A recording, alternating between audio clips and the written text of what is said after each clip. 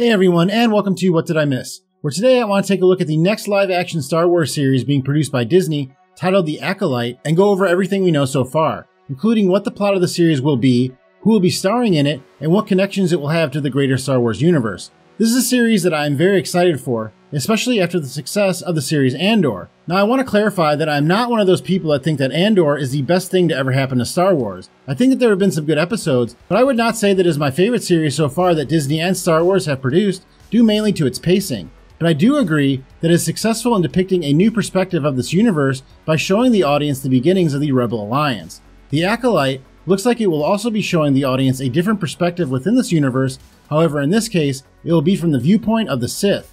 It is believed during this time in the Star Wars timeline that the Sith have been defeated and that there are none left in the galaxy, so the series will show how the Sith found each other and rose to power. Similar to how Andor is showing how all the rebel factions banded together into one alliance.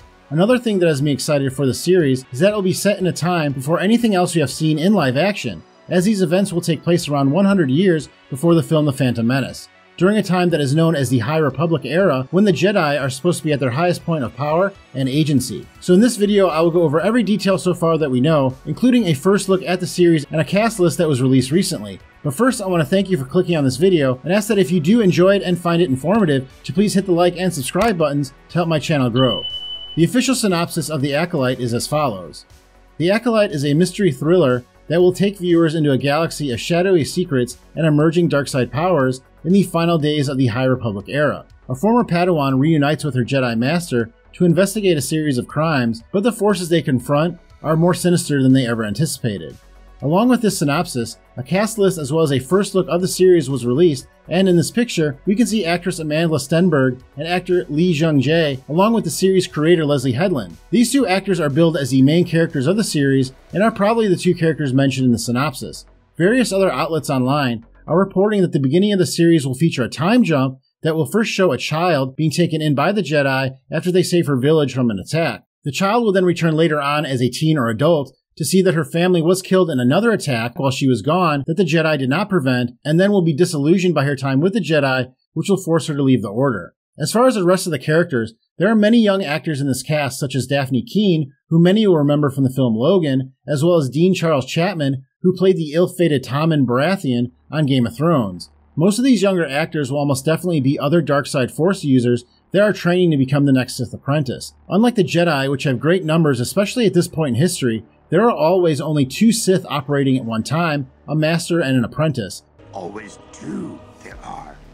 No more, no less. Which means that these young characters will be trying to become more powerful by killing not only Jedi, but the other dark side users around them. Many Star Wars fans will remember that the only Sith we know about that lived before the events of The Phantom Menace was a character named Darth Plagueis, because of what Palpatine said to Anakin Skywalker.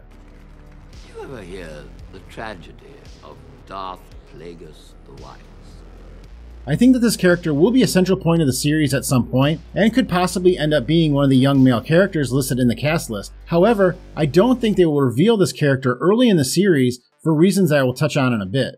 Another actress that was just added to the cast is Carrie-Anne Moss, who is best known as Trinity from the Matrix franchise. I would not at all be surprised if she is playing the Sith Master during this time period and is the one trying to find a new apprentice. Series creator Leslie Headland is known for writing strong female characters, and originally, Disney announced that she would be helming a female centric Star Wars series, so it would make sense to have a great actress like Carrie-Anne Moss play the main villain of the series, especially since she is known best for playing a good character in The Matrix.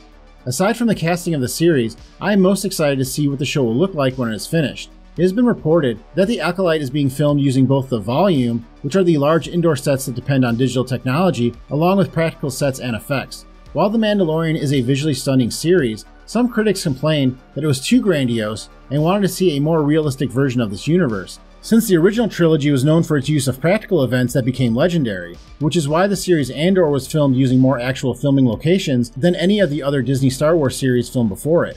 The Acolyte will reportedly try to balance this equation since the aesthetic of this time period should be closest to what we saw in The Phantom Menace, with a lot of shiny ships and new technology. Again, this is the first time this time period will be on screen, which means that we should see a lot of brand new concepts as well. The Acolyte began filming in October of 2022, which means that there is a good chance that it will be released by the end of 2023.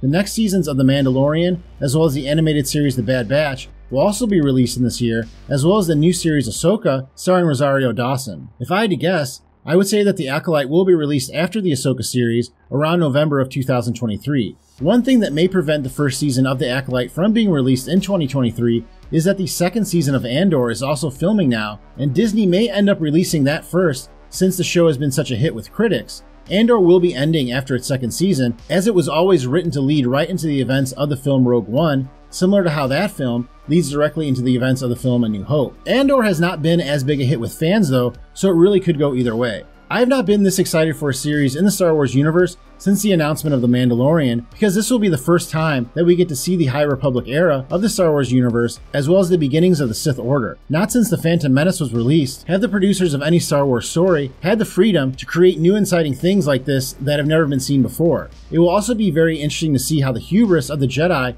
led to their downfall and allowed Darth Sidious to rise to power and eventually all but wipe out the Jedi Order. Speaking of Darth Sidious, I would all but guarantee that we will meet a younger version of Palpatine before the end of this series. While the Acolyte does begin around 100 years before the Phantom Menace, there is already one time jump in the first few episodes that we know about, so this could mean that the series will take place over many decades leading up to the rise of Darth Sidious. I'm not sure how many seasons the series is planned for, but we know that before we meet Darth Sidious, we will have to meet his master, Darth Plagueis which means that once the series is released, everyone will have their own theories on which character will turn into the dark side master that trains Palpatine, which includes me. So make sure that you're subscribed because as I said, this is a series that I'm very enthusiastic about. So whenever any news or trailers are released, I will have them for you here.